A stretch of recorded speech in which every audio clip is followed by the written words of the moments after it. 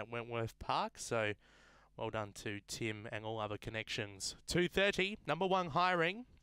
Lai Dong, set to run. Race number two, Angle Park.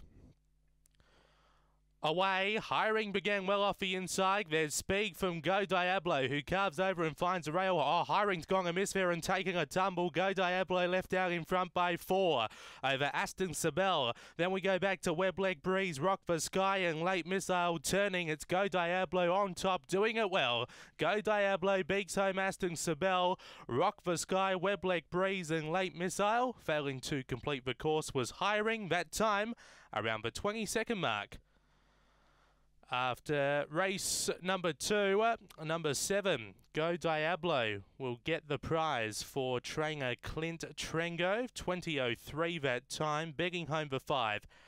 Aston Sabel, Paul Fagan, third number two, Rock for Sky, David Rundle, fourth number four, Weblek, uh, Weblek Breeze for Andreas Luca, 7524, they went 769 early. 20.03 overall and that rung home in 12.34. 7524 are the numbers after race two this morning in Adelaide.